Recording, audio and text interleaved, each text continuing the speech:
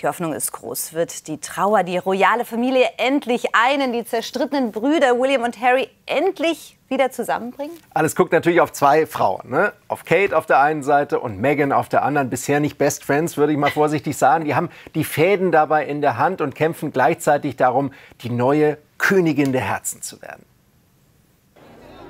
Ein Blumenmeer vor Schloss Windsor, ein Königreich in Trauer, diese vereint sogar Kate, William, Harry und Meghan, eigentlich seit Jahren zerstritten.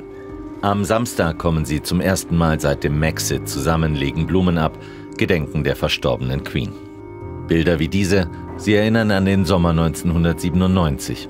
Damals eher ein Blumenozean vor dem Kensington Palace in dem Sommer, in dem Prinzessin Diana stirbt, die Königin der Herzen. Mit dem Tod der Queen ist nun Platz für die neue Königin des britischen Königshauses. Und wer das ist, bestimmt heutzutage nicht mehr allein die Thronfolge. Hinter verschlossenen Türen beginnt der Kampf um die Herzen der Briten. Kate gegen Meghan. Bild macht den royalen Check. Wer hat die besseren Chancen auf die Krone der Herzen?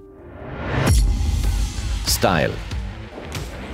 Ob Gala-Dinner, Charity-Event oder Einschulung der Kinder – die Prinzessin von, Achtung neuer Titel, Wales ist immer elegant, dezent und klassisch gekleidet. Von Make-up bis Perms, Kate kann's königlich. Meghan Markle liebt's modisch. Immer wieder sorgt sie für Wow-Auftritte, spart dabei meistens keine Kosten. Abendessen in New York, dafür lässt Meghan gern um die 5000 Euro springen. Auch vor ihrem Maxit ist Meghan stets glamourös angezogen, modische Fauxpas gibt's bei ihr kaum. Besonders originell war Herzogin Meghan dabei meistens jedoch nicht. Immer wieder kopiert sie Harrys Mutter. Wie hier. Diana 1992 in Kairo, Meghan 2019 in Südafrika. Oder als Meghan dreist diesen Look kopiert, Diana 1982 damals schwanger mit William im grünen Mantel, daneben Meghan schwanger mit Archie, zum Verwechseln ähnlich der Style. Modisch sind sie beide, doch Kate ist stets originell und elegant. Punkt für Kate. Promi-Faktor. Als ehemalige Schauspielerin bringt Megan auf jeden Fall eins mit ins verregnete Königreich, den Hollywood-Glamour. Seit mehr als zehn Jahren ist die 41-Jährige inzwischen im Showgeschäft. In dieser Zeit hat sie sich Ruhm, Reichtum hart erarbeitet und Freundschaften der Extraklasse. Ob Talkshow-Masterin Oprah Winfrey, Tenniswunder Serena Williams oder sogar Bollywood-Schauspielerin Priyanka Chopra, Megan kennt sie alle. Die Olympiasiegerin Williams ist auch erster Gast in Megans Podcast Archetypes. Kates beste Freundinnen, selbstverständlich adelig. Glamour schlägt Klüngel, klarer Punkt an Megan. Familienfaktor. Kate, die Supermama. Mit Herz und Hingabe beobachtet die Welt nun seit knapp zehn Jahren Kate bei der Erziehung ihrer Kinder einen Tag vor dem Todestag der Queen bringt Kate die Kleinen zum ersten Schultag, alle drei in vornehmer Schuluniform, wie es sich fürs Königshaus gehört.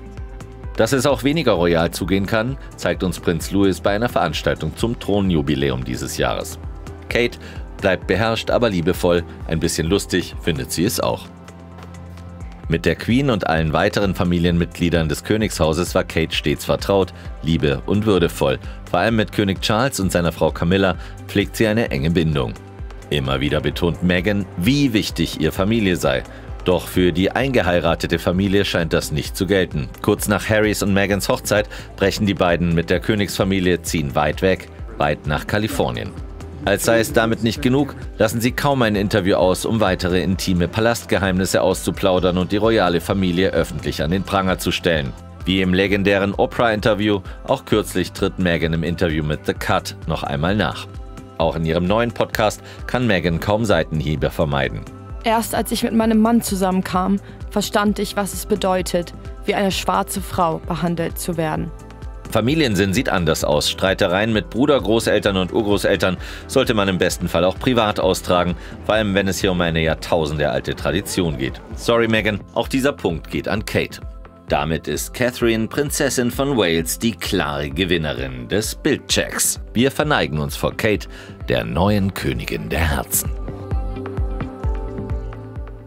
Ja, Verneigung. Aber die Megan, die lässt das natürlich nicht auf sich sitzen. Das fiel noch nicht in die Wertung rein. Ne? Gibt ein neues Video ja, von genau. Megan. Ein Herzensvideo. Das zeigt, wie sehr da im Moment gekämpft wird um auch ihr Herz zu Hause. Also Megan im Großeinsatz, Großoffensive auch auf ihr Herz. Schauen Sie, wie sie dort in London auf die Trauernden zugeht können auch mal reinhorchen. Sie hört nämlich zu den Menschen in diesen Momenten. Und, Patricia? Oh, lange, innige Umarmung. Haben wir noch ein bisschen Schubidu-Musik drunter gelegt, damit das auch Ihr Herz berührt, falls Sie nicht Megan-Fans sind. Das spaltet ja wirklich die Lager, muss man sagen. Ist man Team Megan oder Team Kate? Aber, Aber ist das jetzt aufgesetzt ja. oder ist das echt, Patricia? Also schau, natürlich sind die ganzen Momente inszeniert. Das ist ja klar. Sie natürlich weiß, ist ja. es geplant, dass sie rausgeht. Aber so haben wir sie doch noch nicht gesehen, oder? Das ist doch schon ja. eine neue Megan in diesen Momenten. Ich, gleichzeitig war das ja schon immer ihre Strategie. Sie setzt aufs Herz. Ich finde das gar nicht so unecht bei ihr, aber es ist natürlich auch, glaube ich, ein bisschen kalkuliert glaube, sie weiß schon, oder? Sprechen wir mit Julia Wilczewski, unserer Bildreporterin in London, die ja all diese Momente miterlebt. Julia, hat Megan dein Herz erreicht und, verzeih, noch ein bisschen wichtiger, hat sie die Menschen dort vorm Buckingham Palace, die Trauernden, die Hunderttausenden in Großbritannien, hat sie die erreicht? Ja, also Megan begibt sich ja hier voll und ganz in die Charmoffensive und natürlich berühren solche Momente die Gemüter, sie schmelzen die Herzen. Das sind ja auch die Bilder, nach denen man lechzt, kann man schon sagen. Gerade in traurigen Stunden ist es ja immer noch wichtiger, auch diese schönen, positiven Momente zu sehen. Und was man sagen kann, es gibt schon klar die zwei Lager, Team Megan, Team Kate und auch die Schattenseiten. Denn wir haben jetzt hier gerade diesen positiven Moment gesehen, diese innige, ja, um Umarmung, diese sehr nahbare Situation. Aber es gab auch Momente, wo sich tatsächlich eine ja, Besucherin, ein royaler Fan direkt offensiv von Megan abgewendet hat und ihr praktisch die Hand verweigert hat. Und Megan sehr professionell, ich meine, sie ist ja ein geübter Star, äh, ein Medienprofi sozusagen, hat das ja galant gemeistert und nicht da groß Aufhebens gemacht. Aber auch dieser Moment ging viral und deswegen so, ja, man merkt deutlich die zwei unterschiedlichen Teams und ja, es bleibt abzuwarten, wie jetzt auch in den nächsten Tagen natürlich mit Argus-Augen beobachtet wird, ob Kate oder Megan die Nase ähm, vorne haben in dem Thema, wer erobert die Herzen der ja, Menschen und der royalen Fans. Absolut. Julia Wischewski in London, danke dir für deine Einschätzung. Das wird